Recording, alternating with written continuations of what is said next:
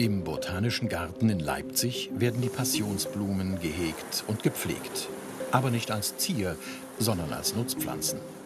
Gärtnerin Janette Klinger braucht die Passionsblumen für die Schmetterlinge, denn dort ist gerade großer Bedarf.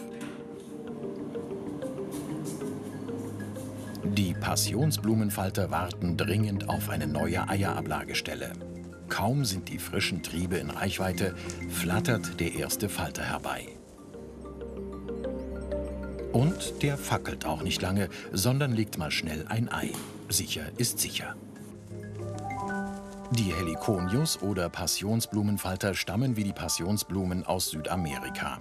Seit 150 Jahren forschen Wissenschaftler an ihnen, um herauszubekommen, wie sie in so wenigen Generationen ihre Flügelfarben ändern können. Alle 42 Arten legen ihre Eier auf Passionsblumen. Das hat für sie viele Vorteile. Die Pflanzen sind voller Blausäure-Zuckerverbindungen. Die meisten Tiere würden sterben, wenn sie an ihnen knabbern. Aber die Heliconius-Raupen haben sich an das Gift angepasst. Die stacheligen Larven können es sogar in körpereigenes Gift umwandeln, das sie selbst vor dem Gefressenwerden schützt. Beim Verpuppen bleibt ihnen das Gift erhalten und sie nehmen es mit, später auch in ihre Faltergestalt. Die Falter warnen ihre Feinde dann mit bunten Flügelfarben vor ihrem Gift.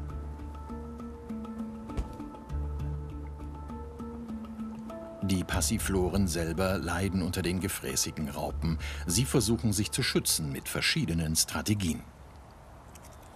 Dabei kommt ihnen das kannibalische Verhalten der Raupen entgegen.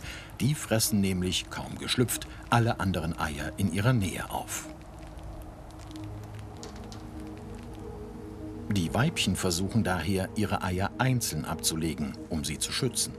Möglichst sicher an die Enden von Ranken oder mitten auf ein Blatt. Um die Schmetterlinge zu täuschen, haben einige Passionsblumenarten Eiattrappen entwickelt, wie diese Punkte auf den Blättern. Sie sollen den Weibchen vorgaukeln, dass hier schon Eier liegen. Bei Passiflora helleri dienen diese Attrappen noch einem anderen Zweck. Es sind Drüsen, die mit süßem Nektar Ameisen anlocken, die dann die leckere Pflanze gegen die Raupen verteidigen sollen. Wissenschaftler vermuten auch, dass die hängenden Triebspitzen die Falter abschrecken sollen, weil die Pflanzen dadurch krank und wie schlechte Raupennahrung aussehen.